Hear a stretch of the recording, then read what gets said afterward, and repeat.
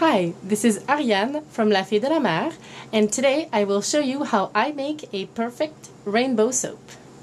First thing, uh, make sure your mold is leveled because if it's not leveled, um, your soap won't be either and you won't have a clean straight line. Let's go. Making a rainbow soap takes time and needs preparation. So here are all my colors that I've prepared in line in order which I want to put them. And then I have my basic uh, oil recipe here. It's at about 100 degrees. Um, I won't mix all the lye at once in this. I will proceed in six different batches to allow um, each color to set before I place the next one on top. Otherwise, uh, it won't be even. And I will pre-mix in this little stainless steel uh, pitcher, which I like. It's very uh, sturdy, it's tough, and um, easy to handle. I'm only going to do the the portioning part process once to show you how I do it and then I will simply show you how I pour the soaps afterwards. So, portioning out 1,333 grams. Based on my specific recipe, I am now adding my lye water solution.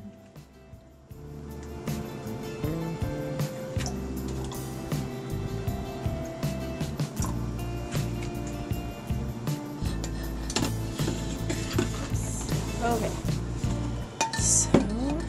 that you can see better. So I got my first color here, which is going to be red.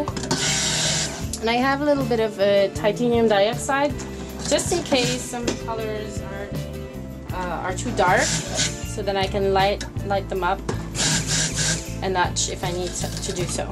Anyway.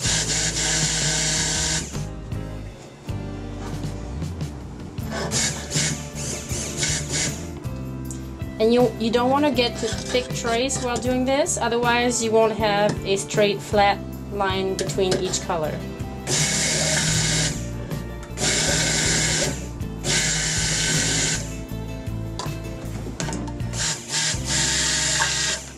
So this is a red I like. Now I'm going to add my fragrance oil and back onto the scale because everything needs to be portioned out. I have my yuzu right now and I need 40 grams of this per color.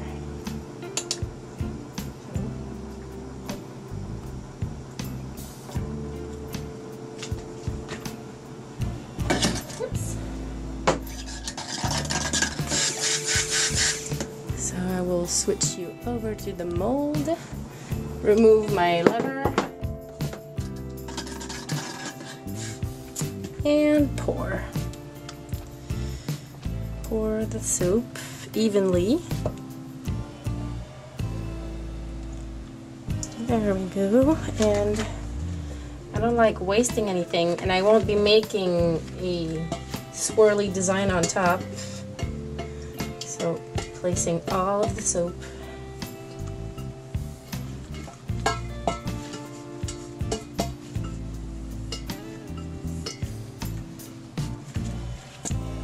trying to scrape out as much soap as I possibly can because I'm just to wipe this down with paper towel and then remix in the same container. Pretty clean.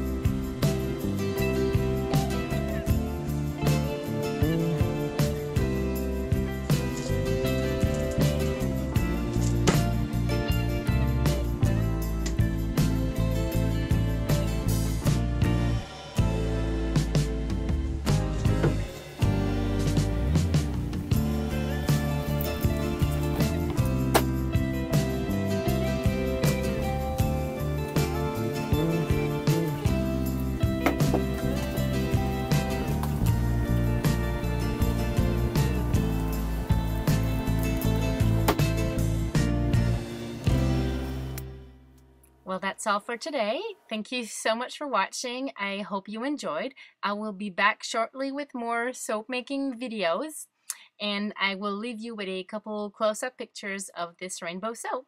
Take care. Bye-bye.